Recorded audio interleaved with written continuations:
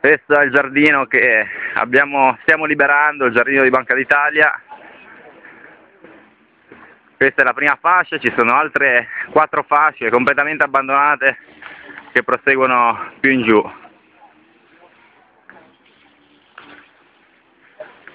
Qua faremo il nostro orto collettivo.